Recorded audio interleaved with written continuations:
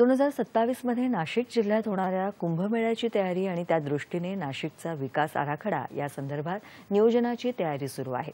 अशी माहिती नाशिकचे नवनिर्वाचित पालकमंत्री दादा भुसे यांनी काल नाशिक इथं पत्रकार परिषदेत दिली.